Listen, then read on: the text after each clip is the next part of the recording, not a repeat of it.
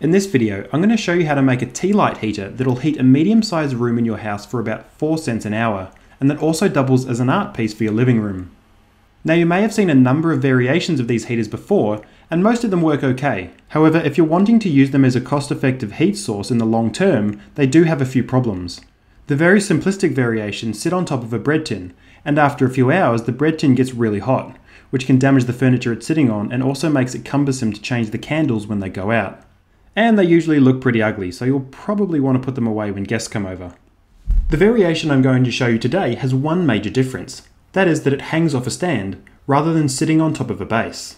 By suspending it in the air, the hot base never comes in contact with your furniture. This also allows you to adjust for different size candles, and spin the base around to make putting the candles in much easier. Another benefit of the adjustable base height is efficiency, by raising the base, you're able to minimize heat loss and at the same time allow just enough oxygen in to keep the candles burning.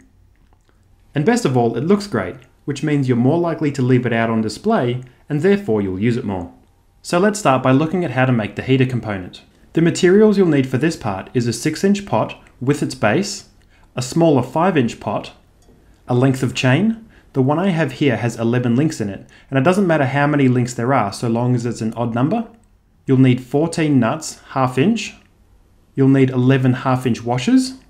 And you'll need a length of threaded rod, also half inch. Now the rod I have here is about 24 inches, but I'm going to need to cut it because I only need about 11 inches.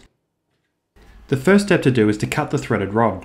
I roughly need 11 inches, so I'll just mark it out with a pen, and then I'll cut it with the hacksaw. This can take a few minutes, so I'll just pause the camera while I go and do this. Okay, now that I've cut the rod to the right length, I just need to file down the edge because after cutting it with a hacksaw it can end up being quite sharp. So I'll just quickly do this now. Okay, now it's time to start assembling your heater. First put two nuts on the end of the rod, roughly an inch from the end. The reason for putting two nuts on is that when screwed in opposite directions, the nuts become very tightly locked together. This will help to prevent all the pieces from coming loose when the whole thing is put together. Then place the last link in the chain over the end of the rod, followed by the other end, creating a loop. And last, add one more nut to the end to secure the chain.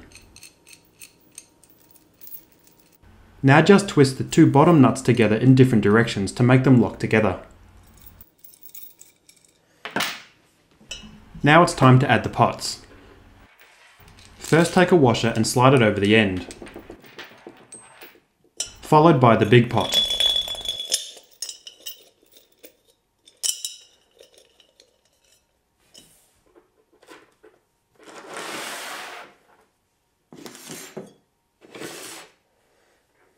Then another washer, followed by another nut. It takes a while to spin the nut right down to the end, so I'll just turn the camera off for a moment.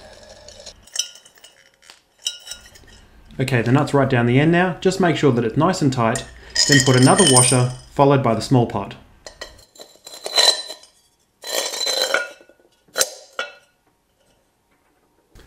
Then put another washer, followed by two more nuts.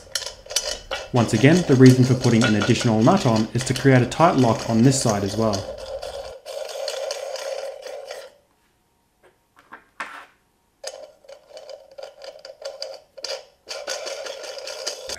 And when they're both all the way down to the bottom, just make sure they're as tight as you can get them.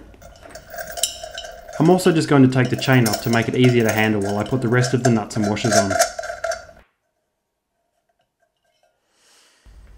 Okay, now put another washer on, followed by another nut, and you want to do this six more times.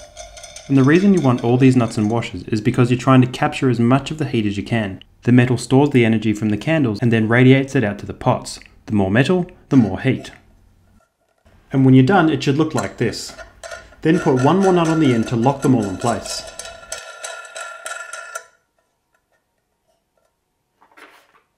I'll now just put the chain back on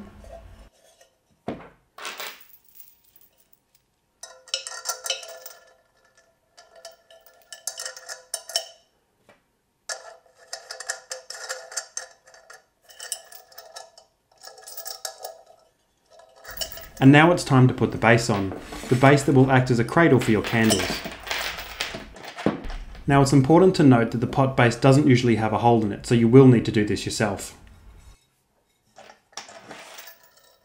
And finally, slide the base over the rod followed by your last washer and nut.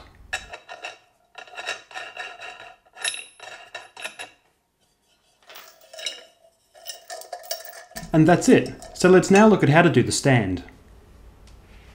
Now the stand I have here is made up of miscellaneous parts I had lying around the house. However, it's important to note that you can make your stand out of pretty much anything. The only criteria is that it's stable and that it has an overhanging arm. This means you could use a mic stand, a lamp stand, a flower pot stand, you could even hang them off a shelf. The support section in this stand is made from the legs of a roadside sign, like this one, and all I did was cut the ends off using an angle grinder to make it smaller. The base is made of 42mm pine. The long part is 15 inches, and the shorter part is 9 inches. The two pieces of wood are joined together using a halving joint, whereby you cut out half the width of one piece of wood and half the width of the other so they fit together flush. And there's a link below this video for more information on how to do that. Then I drilled a hole through the small piece of wood for the cross section, positioning the hole just to the side of where the joint will be, and making sure not to go all the way through.